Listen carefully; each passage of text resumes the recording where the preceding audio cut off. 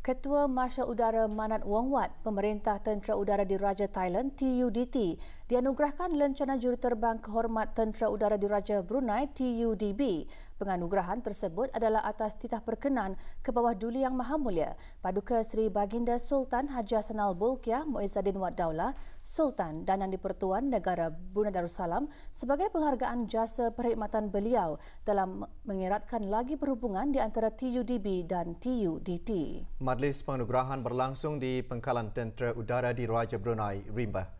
Penganugerahan lencana disempurnakan oleh Brigadier Jenderal Udara Datuk Seri Pahlawan Haji Hamzah bin Haji Saad, pemangku Pemerintah Angkatan Bersenjata di Raja Brunei, ABDB.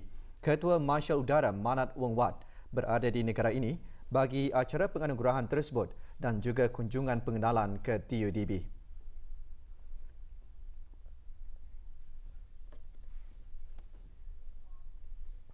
Terdahulu, Ketua Marshal Udara Manat Wong Wat menerima tabik hormat daripada Barisan Kawalan Kehormatan terdiri daripada anggota TUDB.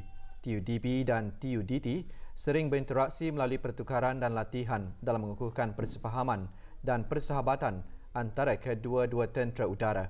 Ketua Marshal Udara Manat Wong Wat mengambil alih tugas sebagai pemerintah TUDT pada 1 Oktober 2019.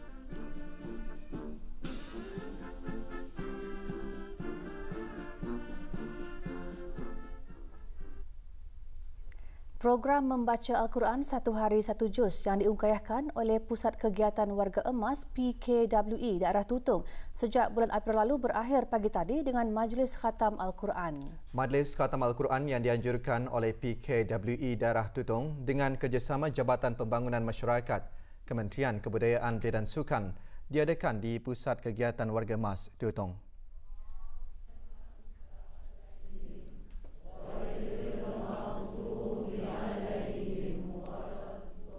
Majlis bermula dengan bacaan surah Al-Fatihah diketuai oleh Pengiran Haji Muhammad Hasnan bin Pengiran Haji Ali Hasan Setia Usaretap Kementerian Kebudayaan Belia dan Sukan. Majlis diteruskan dengan bacaan tahtim, doa khatam, dikir dan bacaan doa Allah peliharakan Sultan. Juga hadir yang berhormat Abang Haji Ramli bin Haji Lahid, Ahli Majlis Mesyuarat Negara.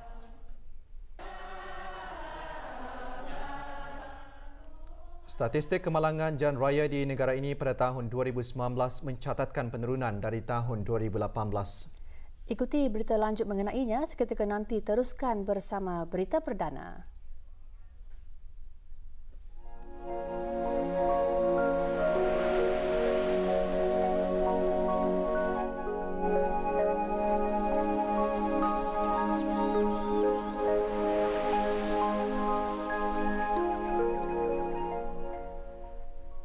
Beberapa kawasan di daerah Tutong masih dilanda banjir sejak 8 Disember lalu.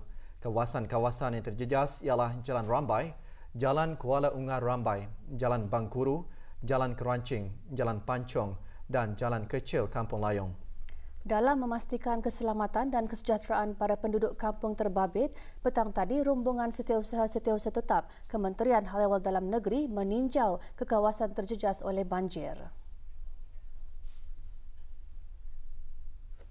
Sebelum meninjau ke kawasan terjejas, Awang Muhammad Amir Hairil bin Haji Mahmud, Setiausaha Tetap Keselamatan Kesejahteraan dan Undang-Undang dan Awang Salminan bin Haji Burut, Setiausaha Tetap Bandar dan Daerah, Kementerian Hal Dalam Negeri mendengar taklimat tentang status terkini dan tindakan-tindakan yang telah dilaksanakan oleh agensi-agensi kerajaan disampaikan oleh Awang Syamsul Bahrin bin Haji Muhammad Hussein, Pegawai Daerah Tutong selaku pengerusi Jawatan Kuasa Pengurusan Bencana Daerah DDMC Tutong. DDMC Tutung membuat beberapa persediaan menghadapi banjir dengan memantau keadaan cuaca dan paras air Sungai Tutung serta pemasangan papan tanda amaran bagi kawasan-kawasan banjir. Melalui langkah-langkah yang diambil dan kerjasama daripada ketua-ketua kampung membolehkan DDMC Tutung bertindak secara bersepadu dan sentiasa bersiap sedia bagi memastikan keselamatan dan kesejahteraan para penduduk. Selain bantuan dari Angkatan Bersenjata di Raja Brunei ABDB bagi penyediaan pengangkutan, Jabatan Pembangunan Masyarakat JAPIM juga menghulurkan barang catuan makanan bermula 13 Disember lalu.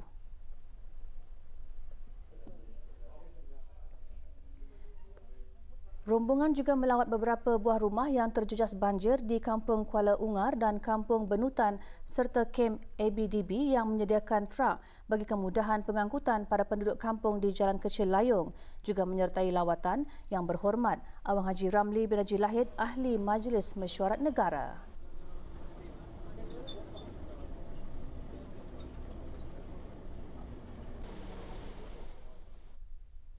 Tiga ahli persatuan kami prihatin atau WeCare akan menjalankan misi kemanusiaan ke kem pelarian Syria di Lubnan dan Turki pada 29 Disember 2019 dan 10 Januari 2020. Mereka merupakan rombongan ketiga sejak tahun lalu yang dilaksanakan di bawah projek Syrian Warm Winter 1.0.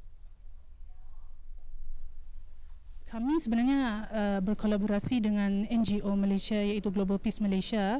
Jadi uh, uh, NGO di sana akan uh, menolong kami menyediakan dan membelikan bahan-bahan asasi untuk pelarian ini uh, and, uh, dan kami akan insya-Allah uh, memulakan packaging itu di Turki.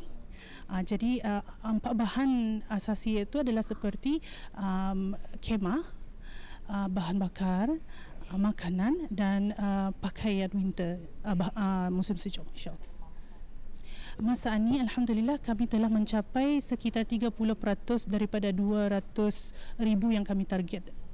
Saya mengharapkan agar semua orang dapat uh, uh, mengetahui apa yang sebenarnya terjadi dengan saudara-saudara kita ni uh, seagama tu di sana.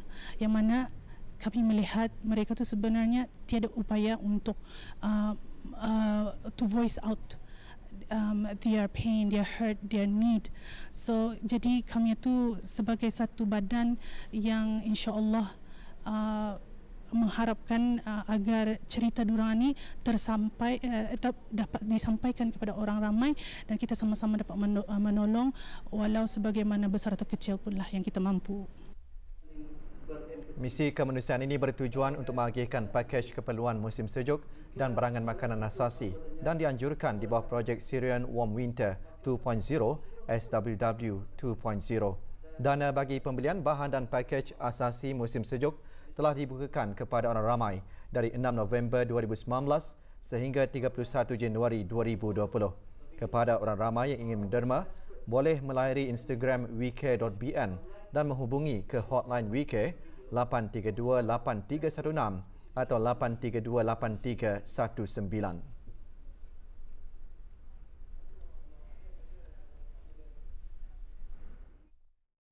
Para pengguna di jalan raya perlu sentiasa mengutamakan sikap memandu yang berhemah serta bertoleransi di antara satu dengan yang lain. Di samping itu, para pemandu juga perlu memastikan langkah-langkah keselamatan terutamanya semasa berada di jalan raya. Menurut statistik yang dikeluarkan oleh Jabatan Siasatan dan Kawalan Lalu Lintas Pasukan Polis di Raja Brunei PPDB, jumlah kes kemalangan pada tahun ini mencatatkan penurunan berbanding tahun lalu.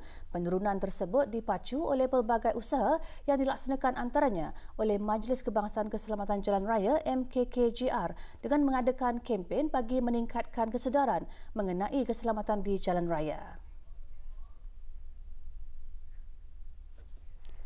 Menurut statistik, sebanyak 897 kes kemalangan jalan raya dicatatkan dari bulan Januari hingga November tahun ini. Dari jumlah tersebut, sebanyak 336 kes kemalangan kereta sama kereta dicatatkan, kemalangan sendiri sebanyak 554 kes dan 7 kes kemalangan kereta dengan penunggang basikal.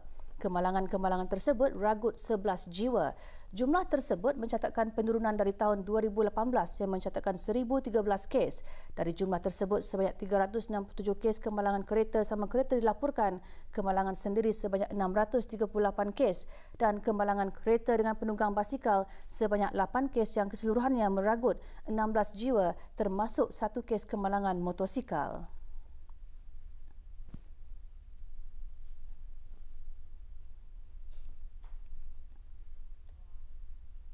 Beberapa langkah juga telah dilaksanakan oleh pihak berkuasa dan pertubuhan bukan kerajaan bagi memastikan keselamatan pengguna jalan raya. Antaranya ialah dengan menguatkuasakan sistem keselamatan amalan pemandu sikap yang bertujuan untuk memastikan para pemandu di negara ini lebih berdisiplin, berhati-hati dan mematuhi peraturan lalu lintas serta penekanan teras 5E iaitu pendidikan, penguatkuasaan, alam sekitar, kecemasan dan kejuruteraan. Melalui tindakan seumpamanya, negara dijangka mampu mencapai sasaran bagi mengurangkan kadar kematian sebanyak 35% menjelang tahun 2020. Di samping itu, MKKJR juga akan terus berusaha meningkatkan lagi kesedaran pada pemandu dan pengguna jalan raya yang lain supaya memberi keutamaan kepada keselamatan melalui kempen-kempen keselamatan jalan raya.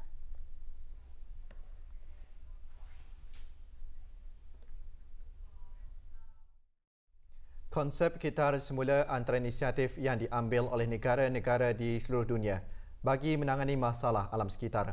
Negara Brunei Darussalam tidak terkecuali menggunakan konsep kitar semula bagi menguruskan bahan-bahan buangan. Melalui konsep tersebut, ia bukan sahaja membantu mengurangkan pencemaran alam sekitar, malahan menjana pendapatan. Thailand juga antara negara anggota ASEAN yang begitu aktif dalam aktiviti kitar semula. Laporannya bersama Pengira Hasrul Pengira Hassan bagi pertukaran bahan berita RTB NNT.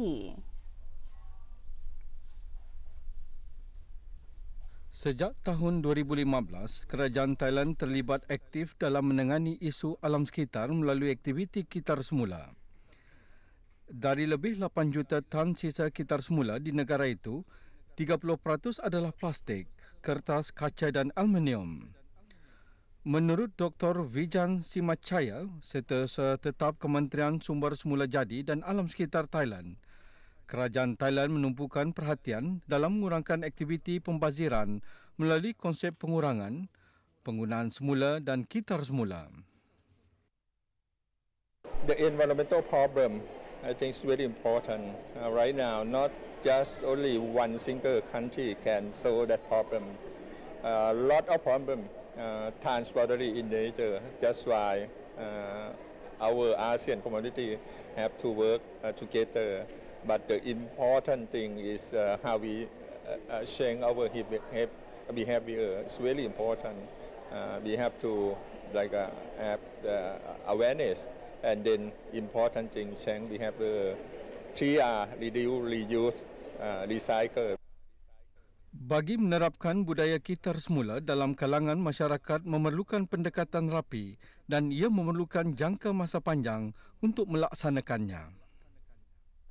the challenge, Thailand would like to reach the stage of uh, zero waste society. Mm -hmm.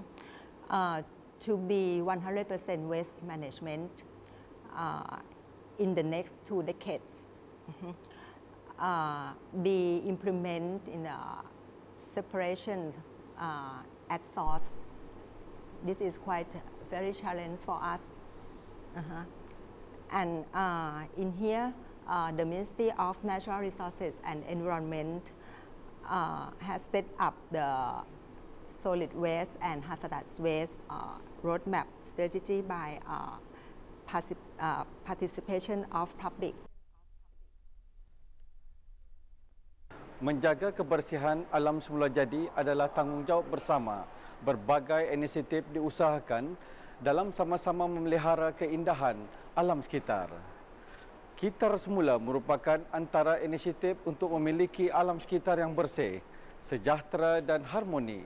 Selain itu, Kitar semula juga memainkan peranan penting dalam pertumbuhan ekonomi dan kesedaran masyarakat. Bagi pengusaha Kitar semula, konsep tersebut bukan sahaja memberi keuntungan, malahan dapat membantu membuka peluang pekerjaan kepada masyarakat the marine debris is a global concern. As a citizen of the global, citizen of the planet, and uh, shoe manufacturing, how can we uh, attack this problem? So we introduced uh, kaya flip-flop. Kaya is mean trash in Thai. Uh, this kaya flip-flop has upcycled um, 5 kilogram of garbage. Masalah alam sekitar memerlukan kerjasama kolektif. Justru kerjasama sejagat amat penting dalam menunjukkan rasa kesedaran terhadap alam sekitar melalui konsep kitar semula. Pengiran Hasrul Pengiran Hasar melaporkan untuk Berita RTB. Pasukan polis di Raja Brunei meminta kerjasama dan bantuan orang ramai untuk mengesan seorang lelaki warga emas yang dilaporkan keluar dari rumah. Haji Muhammad Hassan Yong bin Abdullah berusia 70 tahun memegang pasport berdaftar C05554703. Sebarang maklumat mengenainya hubungi Balai Polis Lamunin Darah Tutong melalui talian 4237-374 atau talian kecemasan 993 atau mana-mana balai polis berdekatan. Seorang penduduk tetap dan seorang warga asing dijatuhi hukuman oleh Mahkamah Magistrate Bandar Seri Begawan atas pertuduhan di bawah Seksyen Perintah Excise 2006. Budiati Rabudin, penduduk tetap berusia 59 tahun, dihukum penjara atas dua kesalahan. Untuk kesalahan pertama, dia dihukum penjara selama dua bulan dan kesalahan kedua, dia dihukum penjara selama sepuluh bulan. Kesalahan pertama atas kesalahan memiliki empat kartun lima paket rokok pelbagai jenama pada 3 Februari 2016. Kesalahan kedua memiliki 25 kartun rokok pelbagai jenama pada 1 November 2019.